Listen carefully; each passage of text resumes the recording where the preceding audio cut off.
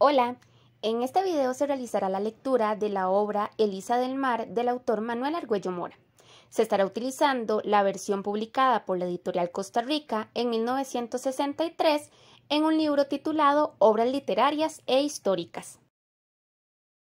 Elisa del Mar, capítulo 1 Elisa del Mar no solo era una de las más bellas flores del jardín que riega el torrentoso río Barranca, sino que su angelical bondad y su constante predisposición al sacrificio y a la renuncia del goce propio en cambio del ajeno, hacían de ella una hermana de caridad en la población de Esparta, donde nació y pasó la mayor parte de su vida. No podía ser de otro modo la que debió el ser al gallardo centroamericano, al héroe sin miedo y sin reproches. En una palabra, al general don José María Cañas. En efecto, tanto la naturaleza como la educación se propusieron a porfía hacer de Cañas uno de los más simpáticos y hermosos tipos de la belleza humana, pues así en lo físico como en lo moral, el general Cañas fue un modelo de perfección en su género. Difícil sería imaginar una figura tan bien delineada y tan brillantemente dotada por la naturaleza, como lo fue la del general Cañas. De alta y esbelta estatura, de azules y grandes ojos velados por espesas pestañas, con una nariz aguileña y una boca de donde jamás salió una sola frase ofensiva para nadie. Cañas practicó todas las virtudes, menos una, la fidelidad conyugal. Esa sujeción le fue imposible, porque el fogoso guerrero, discípulo de Morazán, amaba a todas las mujeres, a las rubias porque eran dulces y suaves, a las morenas porque eran emprendedoras y activas, a las flacas porque no eran obesas, y a las gordas por sus redondas y esculturales formas. Cañas pasó su vida amando y siendo ardientemente correspondido. Más de 30 retoños sembrados en los cinco estados centroamericanos debieron la existencia al bizarro soldado que no conoció el miedo y a quien solo se pudo hacer el ligero reproche de inconstancia en, en el amor. Elisa del Mar fue el fruto de una de las momentáneas constancias en su inconstancia habitual. Berta del Mar, chiricana, despierta y graciosa, vino a Costa Rica por asuntos de familia y no volvió a su país porque se encontró con Cañas en una fiesta de Esparta. Y cuando debía volver, el nacimiento de Elisa se lo impidió en parte, y en mucho motivó su larga residencia entre nosotros, la esperanza de ver de vez en cuando al padre de su Elisita. Lo raro en esa vida de continuas aventuras de amor es que pocos hombres fueron más cariñosos, más amables y complacientes con su esposa legítima que lo fue Cañas. Jamás salió de sus labios una palabra dura para su Lupita, la madre de sus legítimos hijos.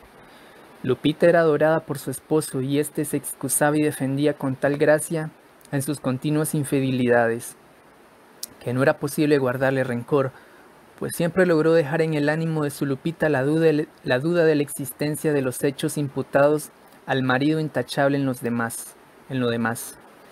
La campaña nacional contra Walker duró más de año y medio, y todo ese tiempo estuvo Cañas ausente de su hogar. Todos los generales, oficiales y soldados que hicieron la campaña se alternaban yendo y viniendo a Nicaragua. Cuando el cólera morbus hizo oír al ejército el Sálvese el que pueda, casi todos los expedicionarios volvieron a sus casas en la esperanza de librarse de la terrible peste. El único que permaneció firme en su puesto desde que comenzó la guerra hasta que concluyó fue Cañas. En efecto, a la cabeza de un puñado de liberianos sostuve Cañas el honor nacional, oponiéndose solo contra Walker y practicando prodigios de táctica y de valor. Uno de esos hechos de armas le valió el nombre de Genofonte centroamericano, dado por el mismo Walker a su incondicional enemigo. Elisa, pues, no solo amaba en Cañas al que le dio el ser, sino que su vanidad era dulcemente lisonjeada por ser hija, aunque natural del célebre y simpático guerrero. Elisa no olvidaba la primer caricia que Cañas le había hecho cuando la mamá la presentó a su padre. Chica, le dijo, pasando sus manos por los cabellos de la niña, eres tan linda que, la que las gentes te tomarán por hija mía.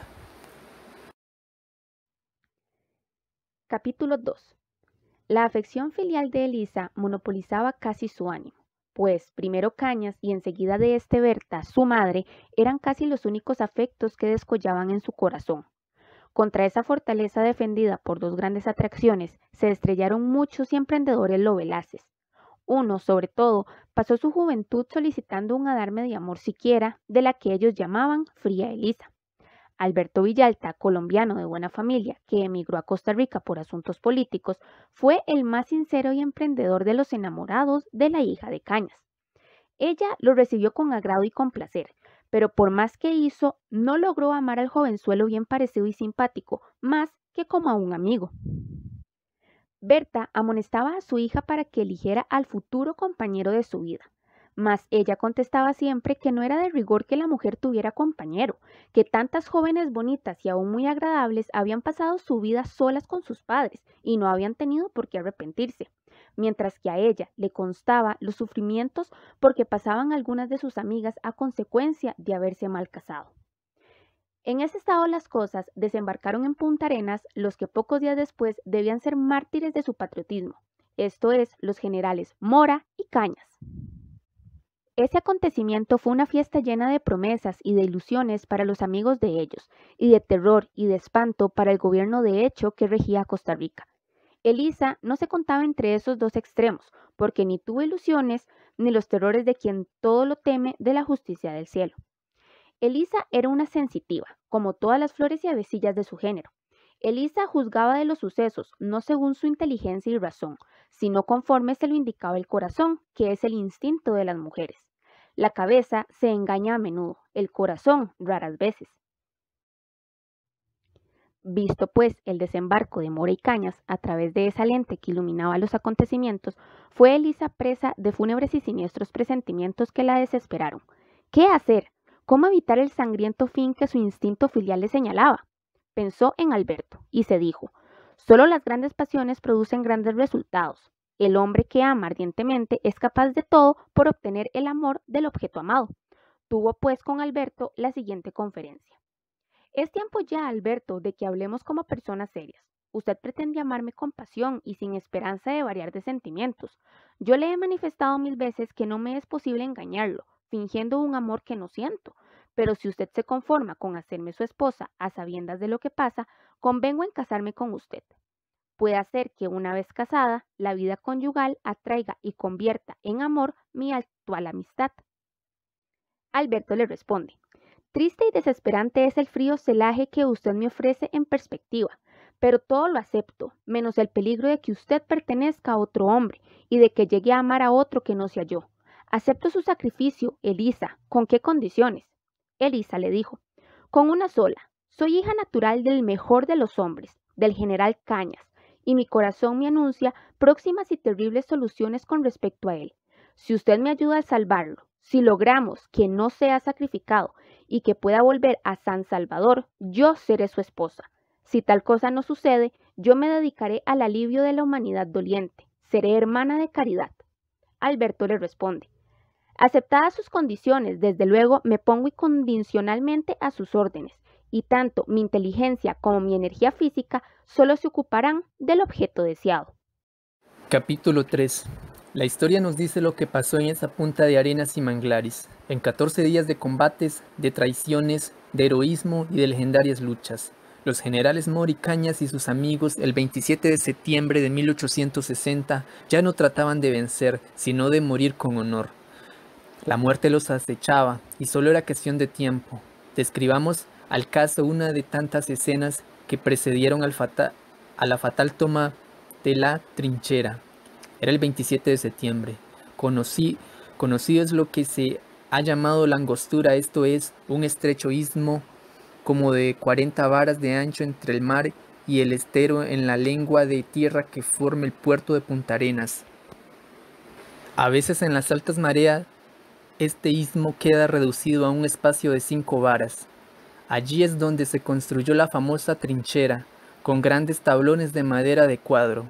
Una cubierta de manta formaba el techo con que se abrigaban de agua y de sol sus defensores. Nueve grandes cañones colocados en semicírculo defendían y barrían el camino. Cada pieza estaba al mando de un oficial. Como casi todos fueron mártires y se batieron como héroes. Justo es que aquí consignemos sus nombres. El número primero estaba al mando de don Leónidas Orozco. Los siguientes al de los señores don Antonio Argüello, don José de Jesús Quesada, don Frutos Mora, don Francisco Castro, don Evaristo Fernández, don Alberto Villalta y dos alemanes amigos de don Guillermo Nan. Eran las seis de la tarde. Un corneta y un tambor ejecutaban el toque de la oración. Todavía en esa época se practicaban la ordenanza militar española y las guarniciones a esa hora en que los cristianos dirigían sus ruegos al Todopoderoso. Hacían lo mismo y oficiales y soldados con la cabeza descubierta y de pie repetían la oración que el cabo de la guardia en voz alta pronunciaba. Concluida la ceremonia, que por última vez debían practicar la mayor parte de aquellos pobres predestinados a la muerte al día siguiente, cada uno volvió a sus quehaceres. El viejo Cañas, vestido con su pintoresca camisa roja de lana, se recostó sobre la cureña de un cañón y, saturado de mortal tristeza, contemplaba un cuadrito que contenía dos retratos, el de su Lupita y el de Pincho o Francisco Cañas, su primogénito, que apenas tuvo tiempo de abrazar al salir del Salvador, a donde llegó Pincho la víspera. Hacía cinco años que Pincho estudiaba el comercio en Valparaíso y volvía a su casa dichoso y adorado por todos los que lo trataban, porque Pincho era el mismo general Cañas cuando era adolescente. Hermoso y elegante, simpático e inteligente, Pincho llegó a San Salvador la víspera que su padre. Mas cuando el viejo general contemplaba su retrato, prometiéndose mil goces en la sociedad de su hijo, ya éste había volado a las regiones de la muerte. Una fiebre maligna lo arrebató a su familia. Cañas murió sin saber que su hijo lo había precedido en el camino de la eternidad. Terribles decretos del destino que había condenado a la Lupita, la santa esposa del general Cañas, a perder en una sola semana a su marido, a su hijo primogénito y a su hermano mayor, don Rafael Mora, quedando abandonada y sin recursos en el ostracismo que había compartido con su marido. Ya viuda, mártir y madre de numerosa prole, tuvo que ganar con su trabajo personal en extranjera tierra el amargo pan de la proscripción. Los demás jefes y oficiales, cual más, cual menos, todos pensaban en su familia ausente, en su vieja madre, en la joven hija y en la prometida esposa. Alberto Villalta pensaba en su Elisa y acariciaba su cañón, como al amigo a quien debería el amor de la hija de Cañas. Alberto se enganchó al servicio de Cañas con ánimo de hacer cuanto en su mano estuviera para salvar al viejo guerrero o para morir con él. E, todas esas reveries cesaron al escuchar la terrible voz del cañón enemigo. En efecto, dos balas rojas unidas por una cadena habían penetrado en el campamento, a, un soldado y destruido completamente el techo de la tienda de campaña que abrigaba a los jefes. La juventud es siempre y en todas partes la luz y la alegría de la vida. Todo lo que pasa en, esa primavera de la existencia es motivo de placer y manantial de risas y chanzas. Así fue que los jóvenes oficiales, jefes de las piezas, un momento antes tristes y mustios, reían a carcajadas al ver a la cocinera del campamento, la popular y célebre Liboria, furiosa contra los poco diestros artilleros del enemigo, que en vez de matar soldados, le habían destruido y dispersado las cazuelas y platos listos para la cena. En esos momentos, el solemne silbido de una bala de cañón atravesaba de sur a norte, esto es, del mar al estero, a una gran elevación sobre la trinchera. Era el aviso convenido con los comandantes de las lanchas cañoneras quienes debían con esa señal indicar que había novedad o peligro inminente para los defensores de la angostura.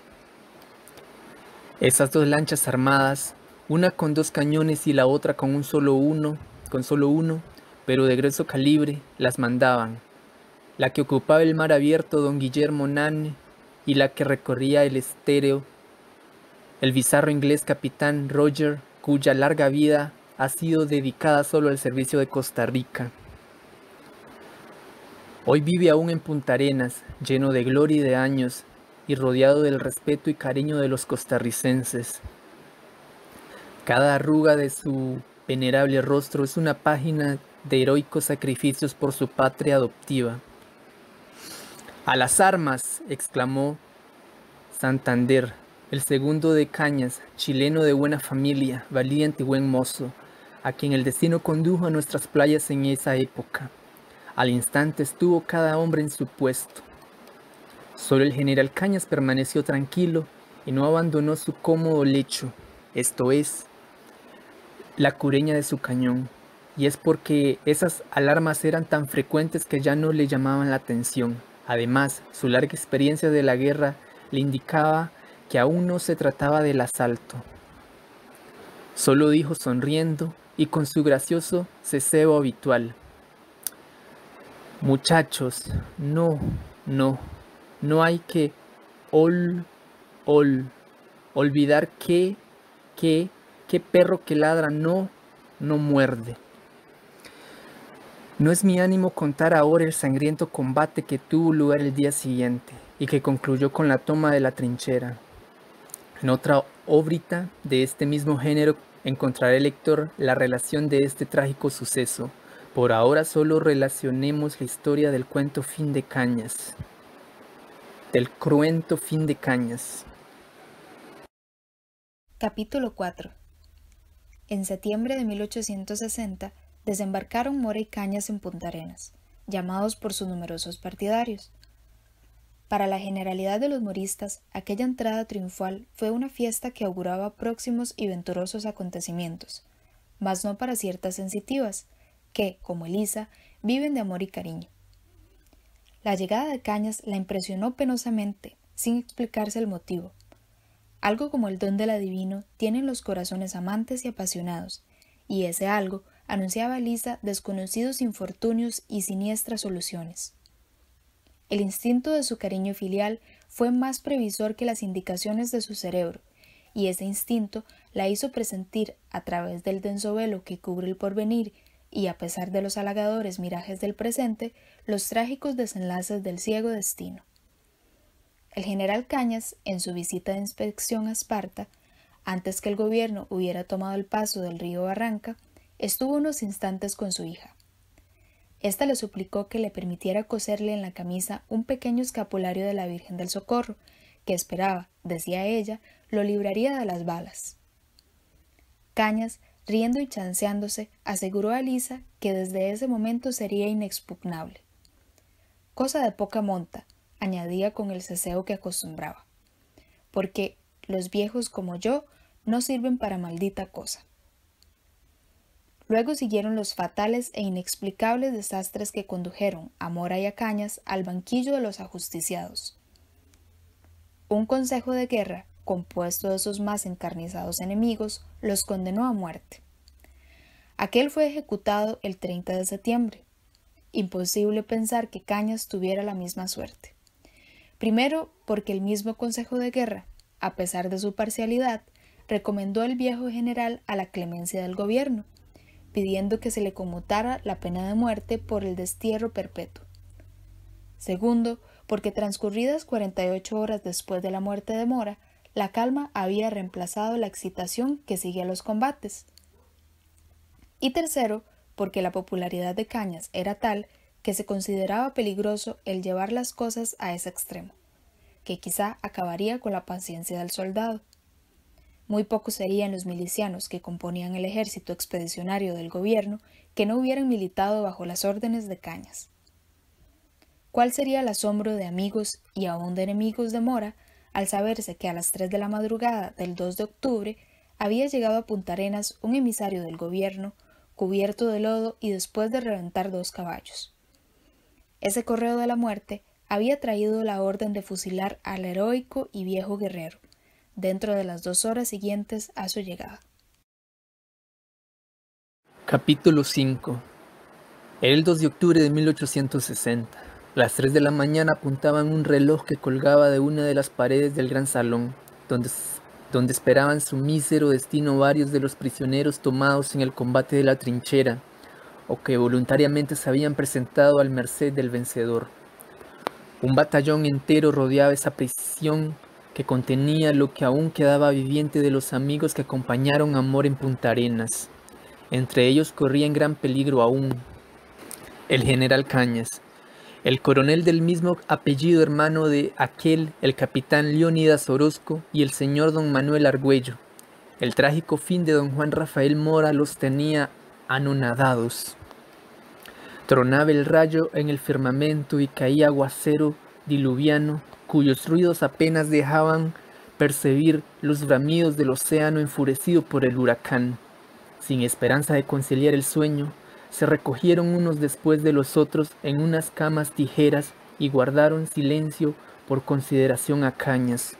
Cuando parecían todos dormidos, como a las dos de la madrugada, el centinela de la puerta se acercó de puntillas al lecho de cañas y con los ojos llenos de lágrimas contempló silenciosamente su varonil y simpática figura, quien tales muestras de ternura no pudo ocultar.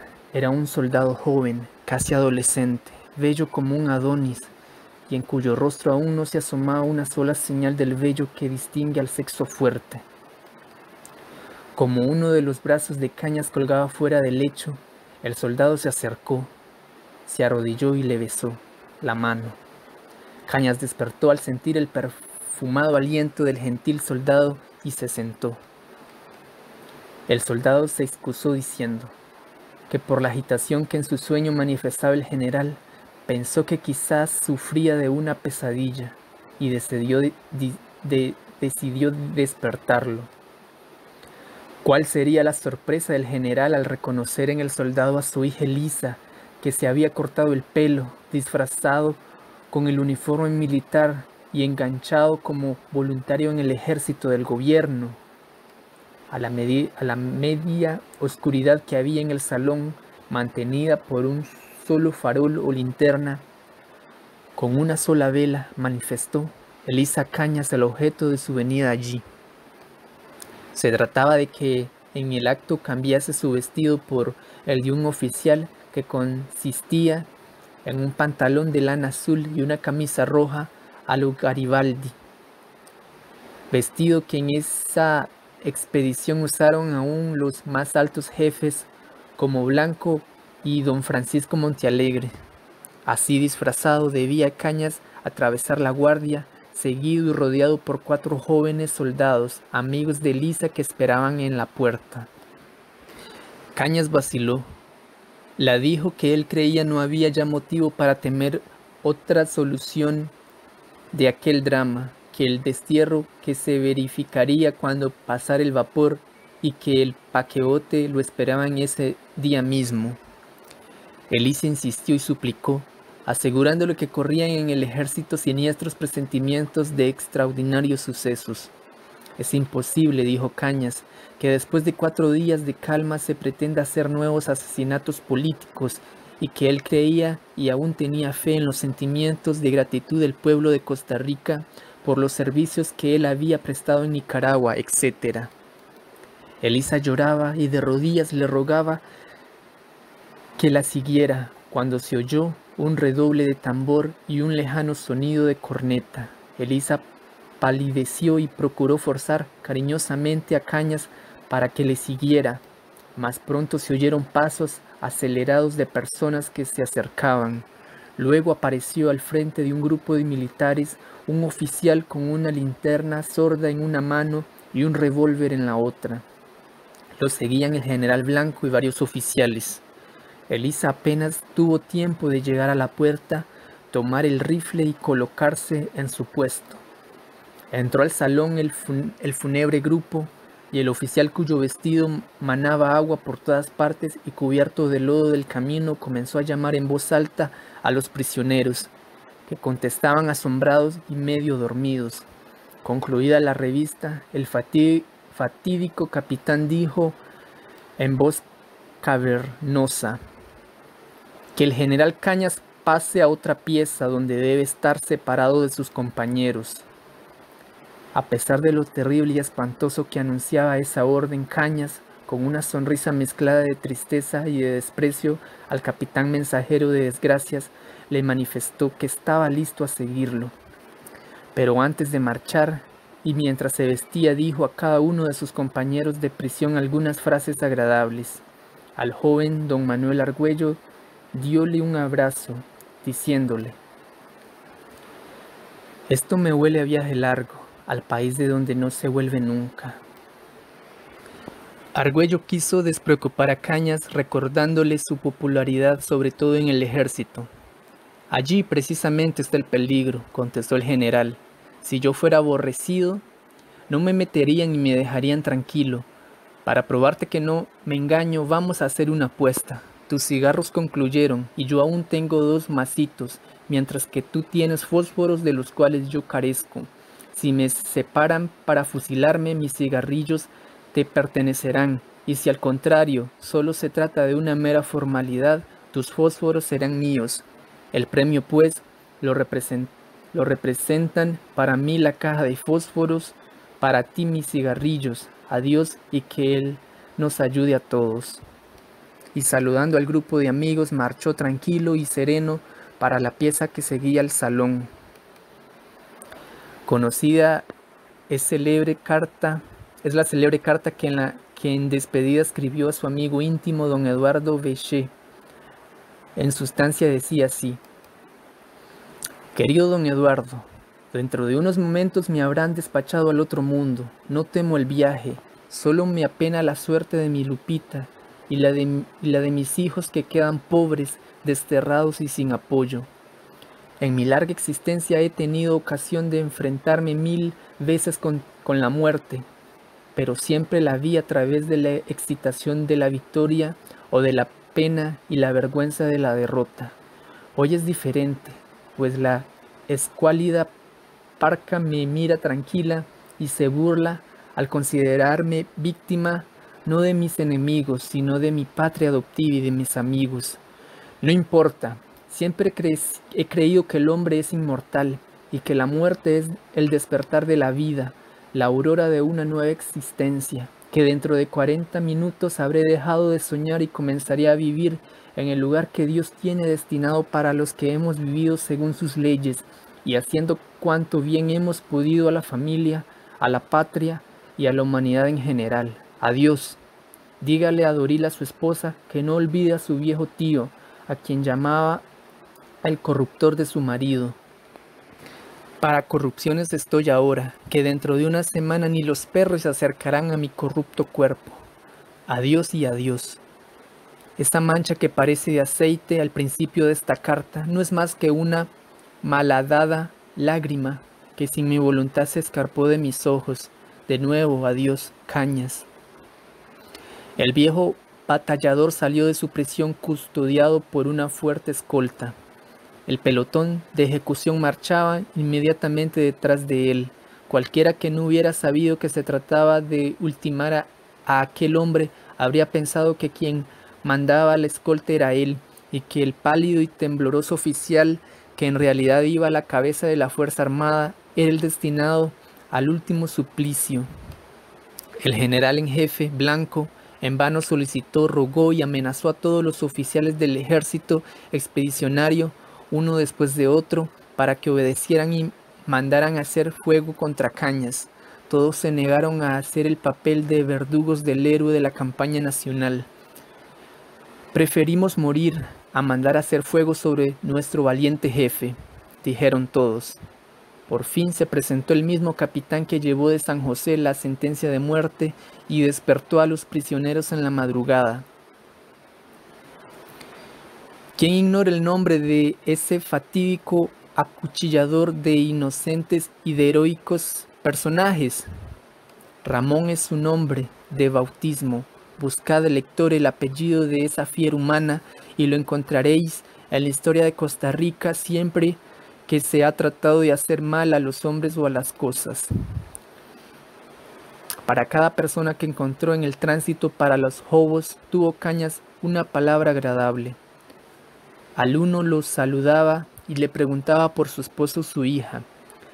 A la otra la llamaba por su nombre de convención, como lo hizo con la Lorenza, a quien vio en una ventana, en donde lloraba y gemía ya ronca y desesperada. Sígueme, le dijo, pues te necesito en los jobos. Llegado al mismo lugar donde fueron fusilados, Mora y Arancibia suplicó al oficial que le permitiera mandar el, el pelotón que debía darle muerte.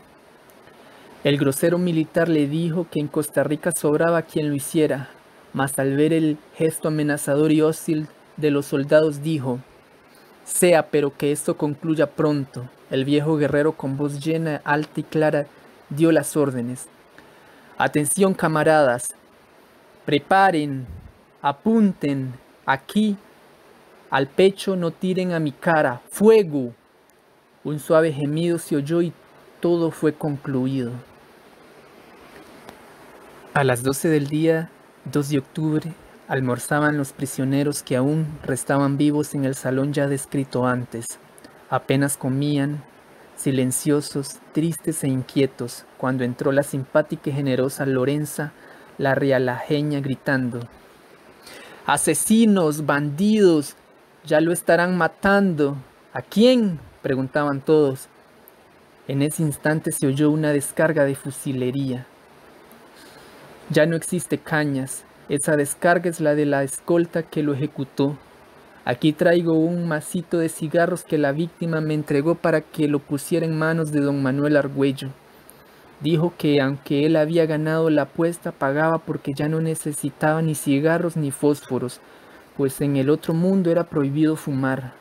El oficial don Rosario Gutiérrez recogió la dentadura postiza que usaba el general y se la obsequió a Lupita, la viuda mártir.